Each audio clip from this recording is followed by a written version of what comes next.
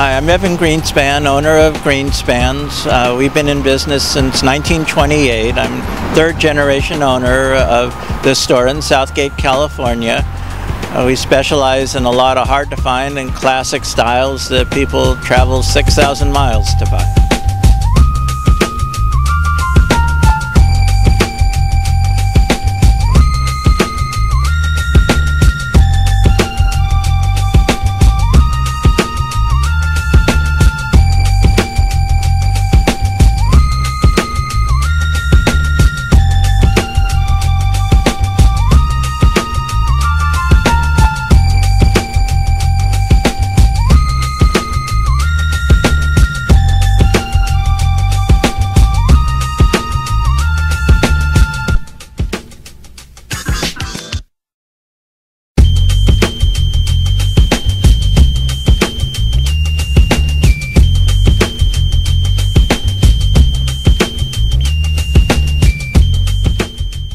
Uh, Greenspan started 1928 in uh, Watts, a couple miles away from here, uh, uh by my uh, grandparents Alex and Eva Greenspan.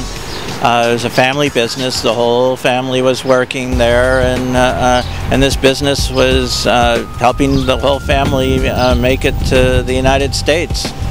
Uh, every family member had a different department. It was a junior department store. At one time it sold appliances and yardage, women's clothing, children's then, clothing. Uh, uh, my father, uh, when he was in junior high, opened up this location 1939. Uh, and uh, South Gate was a growing city then. And so when he was in junior high, he had a 62 year old man working for him running the store.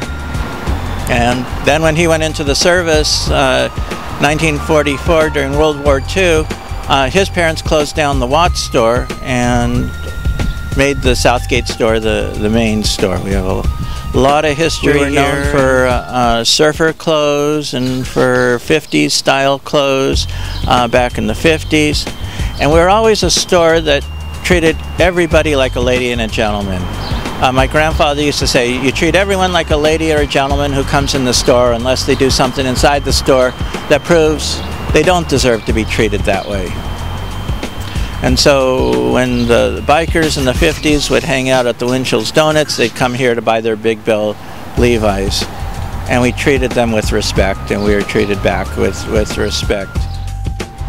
No, my father liked the styles of the uh, 30s, 40s, 50s. When the hippie uh, bell bottoms started coming in in the late 60s, uh, early 70s, uh, where you were supposed to wear worn out jeans with patches and and you wore your Levi's for four years. He really didn't understand that.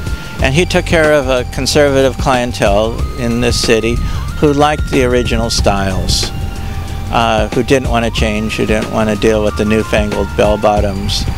And also there was the uh, Latinos that liked the zoot suit look, the Ricky Ricardo looks of the 40s and early 50s. And he found he can obtain this stuff still from stores that couldn't sell it. So one by one, he started buying this and selling it, and he did this hundreds of times. Warehouses, factories, Spiegel catalog warehouses, uh, factories going out of business, uh, that he would just buy the original stuff. Uh, hat companies, hat stores, and uh, so we became an original style, what they call now dead stock, clothing store at affordable prices.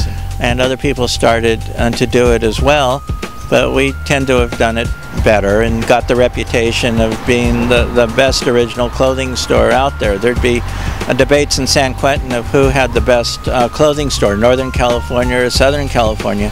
And because of us, we won because we had the best original things uh, still available.